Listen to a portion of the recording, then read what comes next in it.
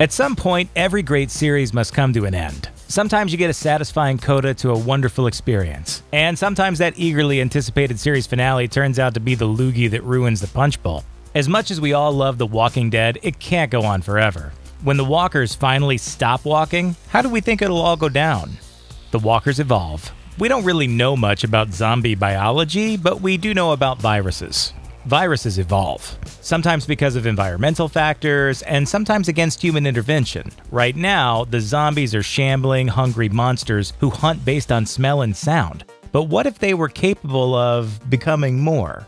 Zombies are strong, but they're slow, and can really only use two senses. The virus in the human body seem to have a symbiotic relationship after death.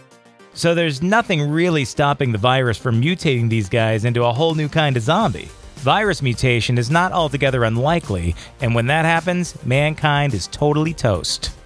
The walkers win. There are simply far more walkers on Earth than there are living people, and even though humans possess superior intelligence, they just can't seem to keep it together as well as the brainless dead can. Humans lack unity, and zombies have an amazing persistence. As we watch the last struggling group of survivors dwindle in a world gone wild from neglect, they'll eventually run out of resources. The food options suck, Peanut butter and jelly, diet soda, and pig's feet. That's a white trash brunch right there. And no one seems to really pursue farming too seriously.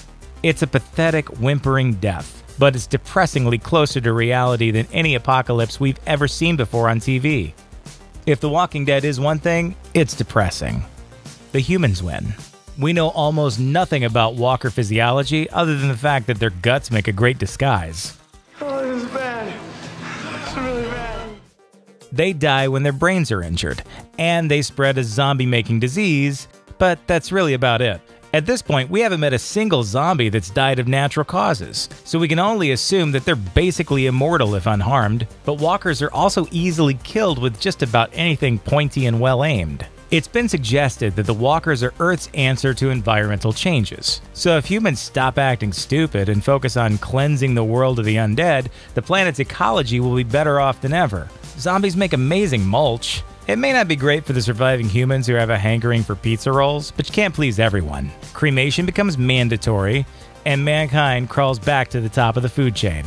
Utopia is discovered.